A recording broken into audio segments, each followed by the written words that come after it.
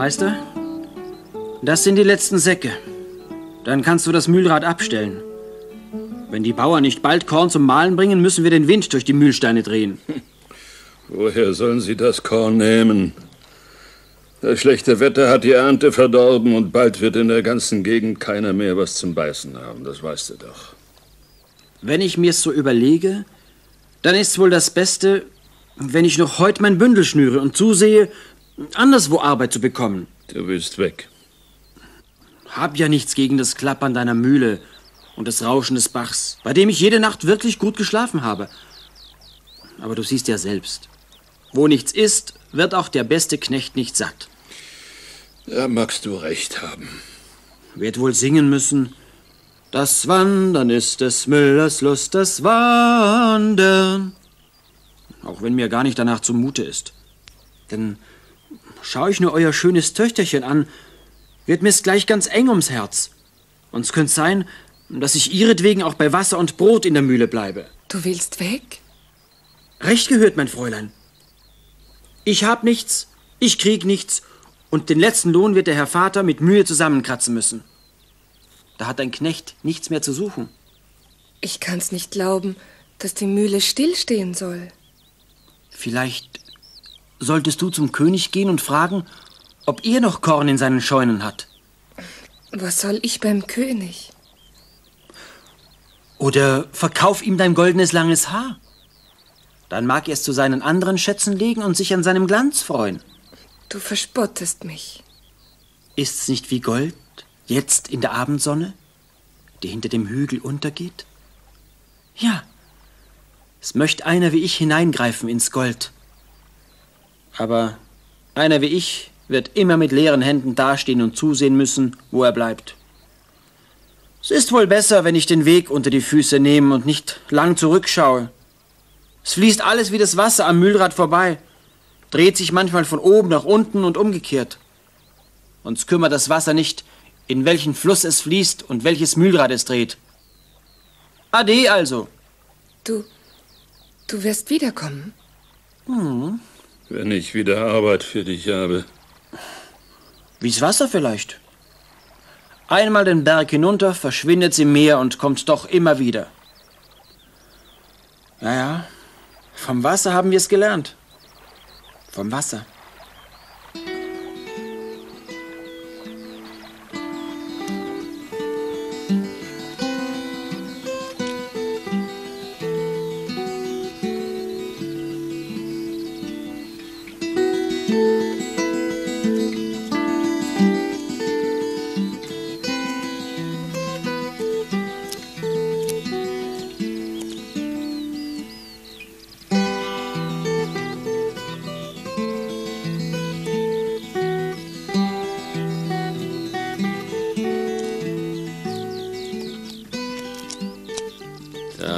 Hacken sie den harten Boden auf, graben um und haben nur die Hoffnung, dass die Erde im nächsten Jahr wieder eine Ernte bringen wird. Eine elende Arbeit.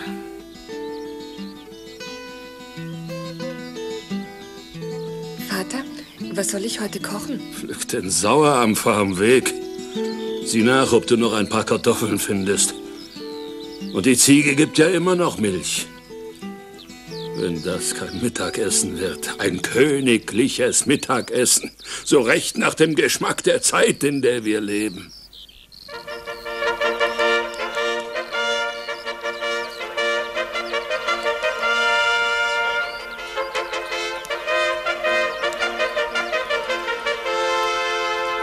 Der König kommt! Der, der König! Der Herr König! Der Herr König! Der König.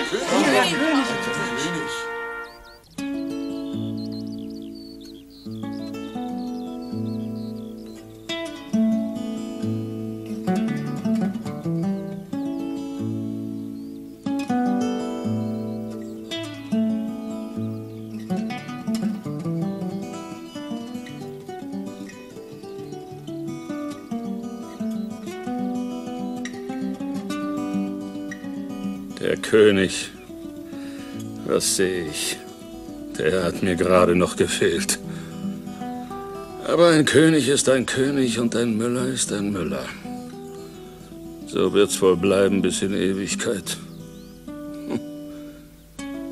Vielleicht sollte ich so tun, als sei ich gescheit, reich, angesehen und mir nicht anmerken lassen, dass mir der Hunger in der Kehle und die Wut im Bauche sitzen.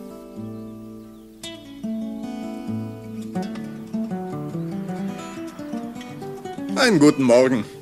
Ist ein gutes Plätzchen, das du dir für deine Mühle ausgesucht hast. Das, äh, das. Äh, guten Morgen, Herr König. Bitte treten Sie doch näher.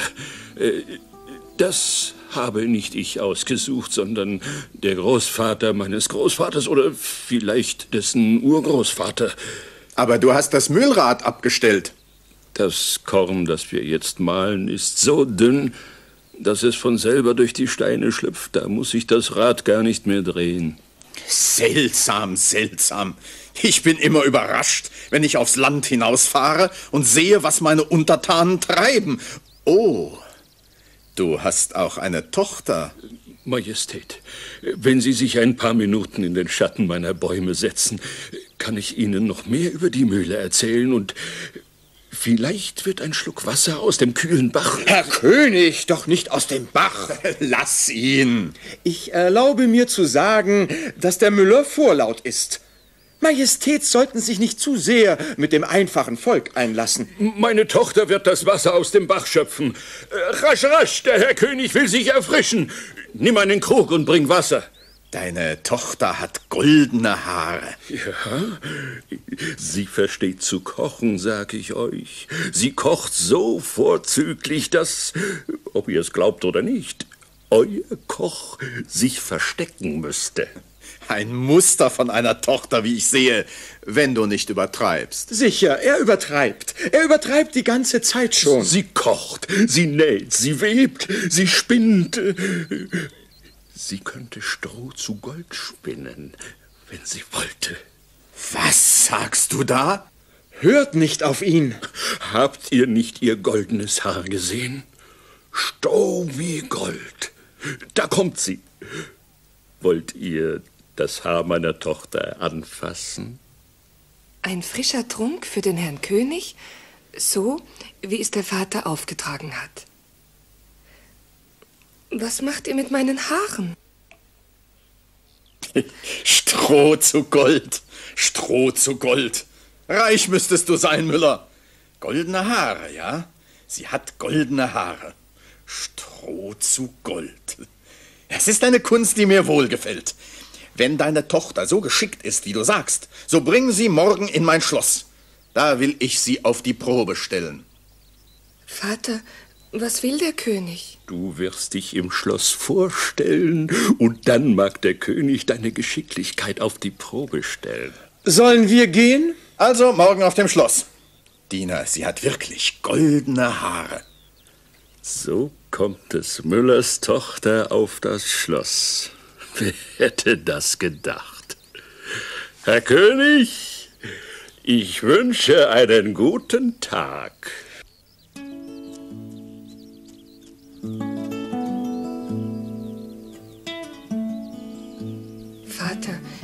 Was hast du dem König gesagt?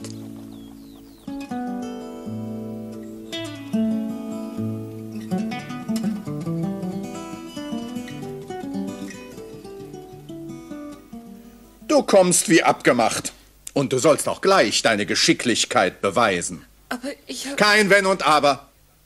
Du sollst mir das ganze Stroh, das in einer Kammer ist, zu Gold spinnen. Zu Gold, das so glänzt und so fein ist wie dein goldenes Haar. Eine Kammer voll Stroh? Diener, Führ das Mädchen in die Kammer, gib ihr Rat und Spule. Und dann, Müllers Tochter, mach dich an die Arbeit. Und wenn du diese Nacht durch bis morgen früh das Stroh nicht zu Gold versponnen hast, musst du sterben.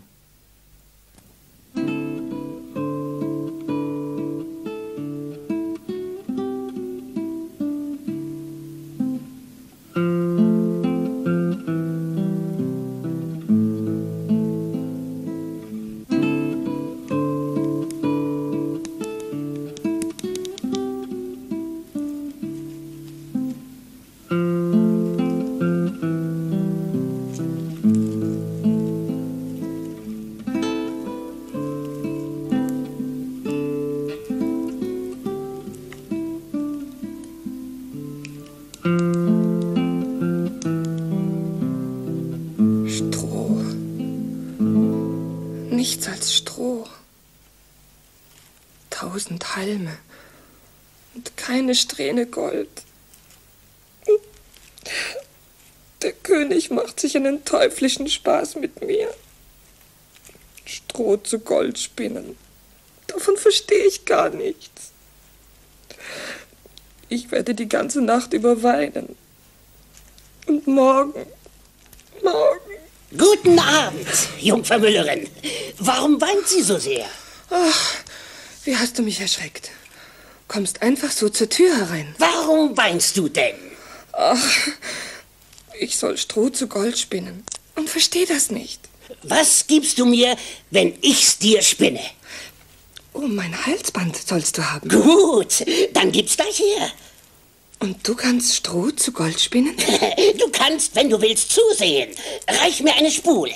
Und dann soll's losgehen, damit wir bei Sonnenaufgang am Ende sind.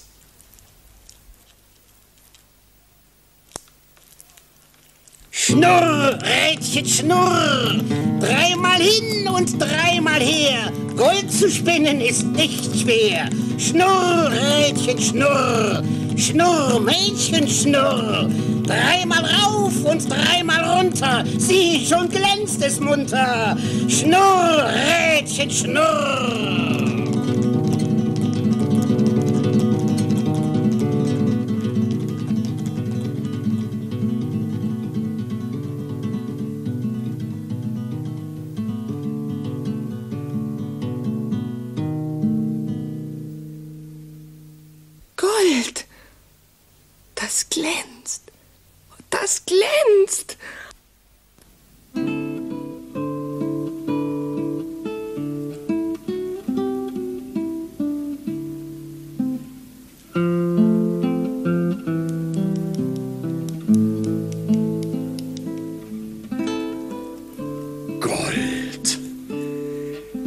Feines Gold.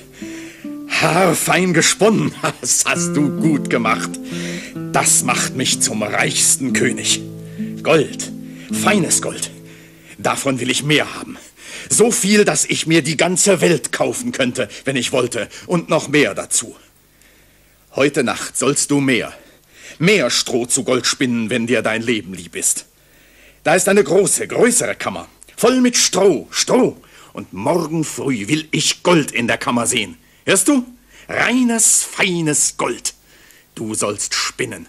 Spinnen. Die ganze Nacht lang.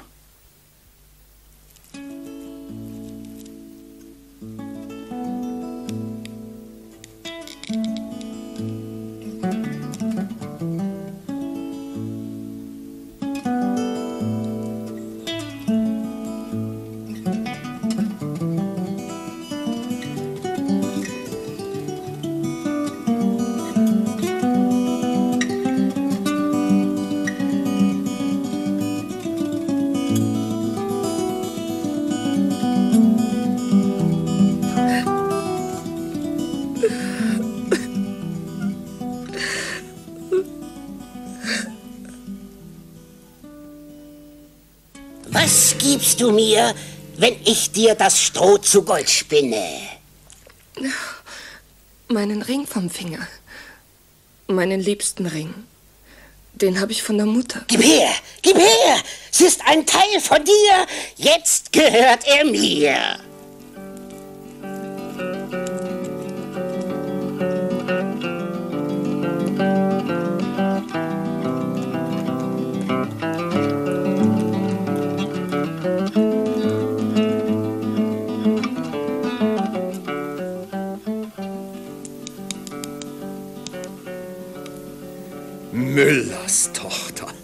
Müllers Tochter, Gold hast du gesponnen. Noch mehr, noch mehr. Feines Gold, feines Gold. Davon will ich mehr, noch mehr. In der größten meiner Kammern ist Stroh. Das musst du noch in dieser Woche verspinnen. Gelingt dir's aber, so sollst du meine Frau werden. Könnte ich denn eine reichere finden als dich? Gold hast du gebracht, wirst Gold bringen immer zu.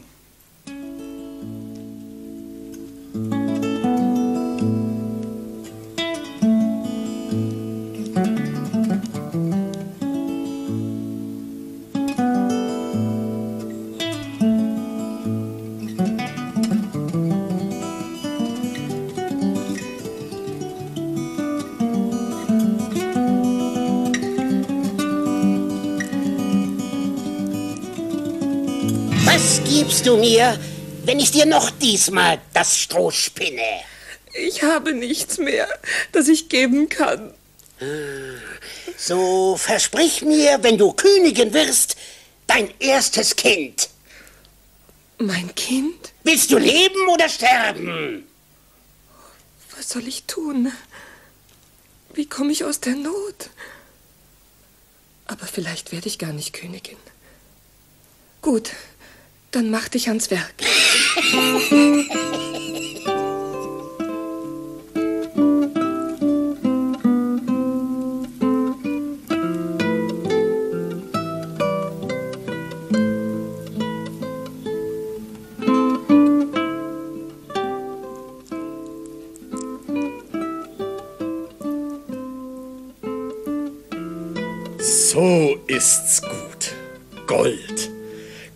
so viel ich nur will. Drei Kammern voll Gold. Und eine Frau, die aus Stroh Gold spinnen kann. Müllers Tochter, jetzt sollst du meine Frau werden. Und wir wollen Hochzeit machen, dass allen im Land die Augen übergehen. Ich soll Königin werden? Freust du dich nicht? Ach, lieber König, du hast das Gold gewollt und willst noch mehr Gold. Wie sollte ich mich da freuen? Kommt Zeit, kommt auch Freud. Wer nichts hat, wie soll der sich freuen? Sieh dich um und sieh zu, was du alles hast und freu dich deines Reichtums. Morgen, morgen feiern wir die Hochzeit.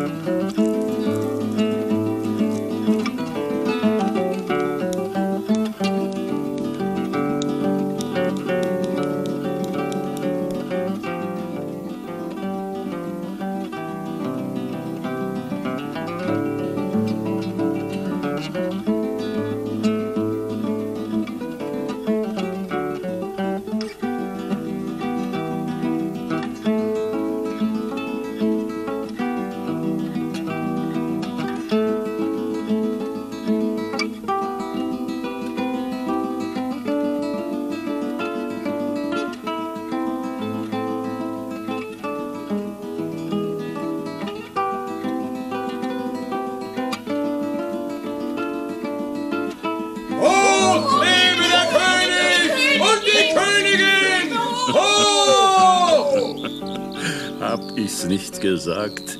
Gold wie ihr Haar. Meine Tochter Königin. Man muss nur aufpassen, dass man den rechten Zipfel des Glücks erwischt. Hab gemeint, wenn ich zurückkomme, wird mir's wieder eng ums Herz werden, sehe ich des Müllers Töchterchen nur. Und jetzt ist mir's eng in der Brust, weil ich sie nicht mehr anschauen kann.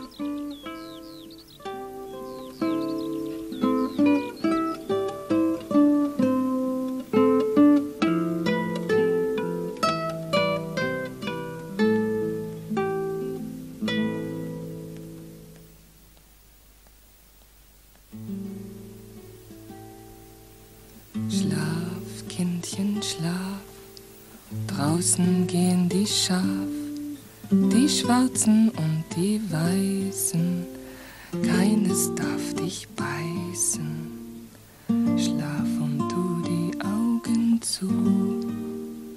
Der Himmel schenkt dir Ruhe. Kusch dich fest, du liebes Kind.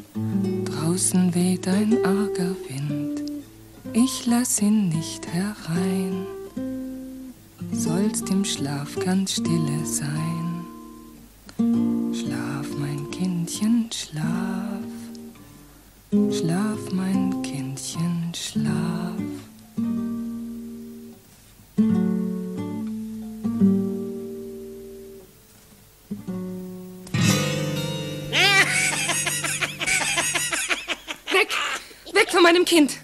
Was suchst du hier? Erinnerst du dich nicht mehr?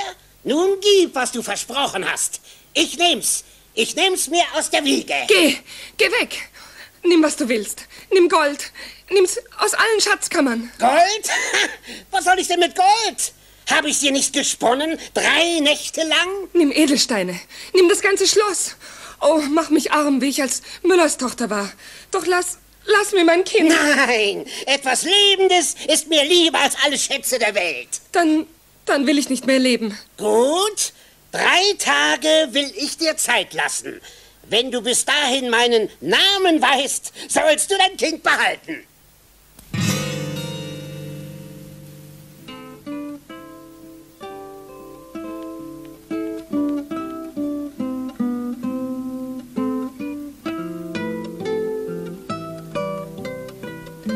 So nennt, so sagt mir alle Namen, die ihr kennt. Ich will sie mir aufschreiben und merken. Einer muss doch dabei sein. Kaspar, Melchior, Balthasar! Michael, Franz, Johannes, Friedrich! Maximilian.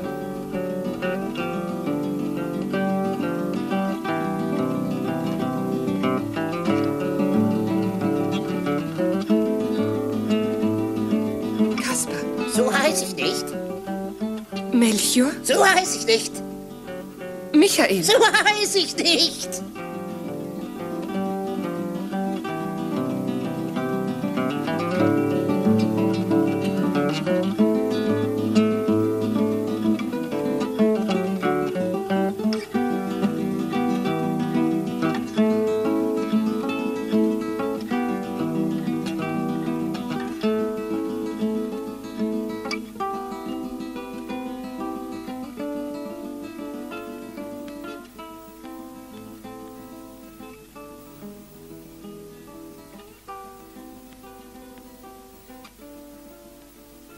Jetzt muss Herr Name dabei sein. Die ganze Nachbarschaft habe ich ausgefragt. Und ich habe Namen erfahren, die ich noch nie gehört habe. Jetzt werde ich mein Kind behalten. Jetzt muss ich's behalten. Heißt du vielleicht Rippenbiest? So heiß ich nicht. So heiß ich nicht. Hammelwade? So heiß ich nicht. Schnürbein? So heiß ich nicht. Gurkendick? So heiß, so heiß ich nicht. Knobelstock? So heiß, so heiß ich nicht.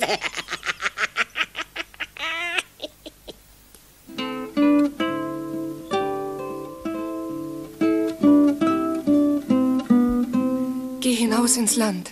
Geh in jedes Haus. Frag jede Frau. Frag jeden Mann. Frag nach allen Namen, die sie wissen. Frag die Kinder. Frag die Vögel. Frag, wen du finden kannst nach seinem Namen. Alle Namen. Alle Namen will ich. Muss ich wissen. Frau Königin, wie ihr befehlt. Im Dorf, in der Stadt, im Wald, auf dem Feld will ich meine Augen aufmachen und die Ohren aufsperren.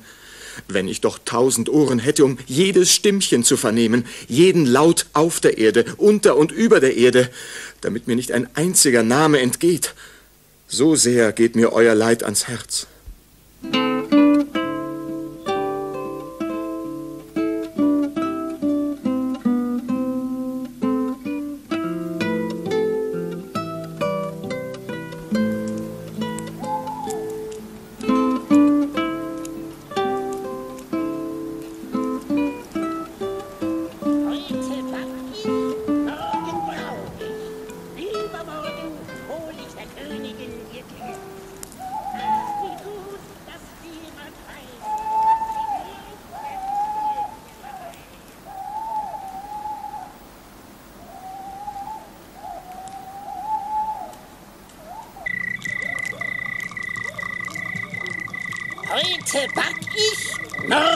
Brauch ich.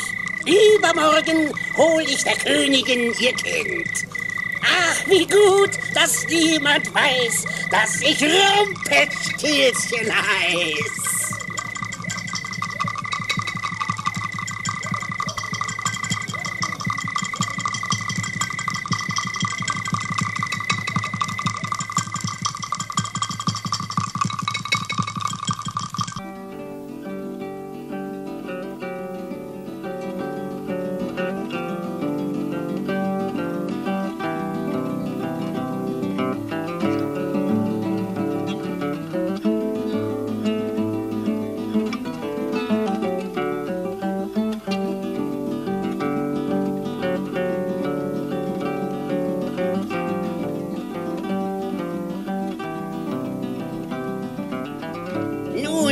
Königin, wie heiß ich?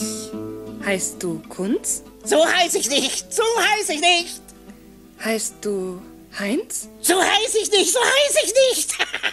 Und so hol ich mir der Königin ihr Kind. Heißt du etwa Rumpelstilzchen? Das hat dir der Teufel gesagt. Das hat dir der Teufel gesagt. Da, da soll mich doch der Zorn gleich in Stücke reißen. Das hat dir der Teufel gesagt.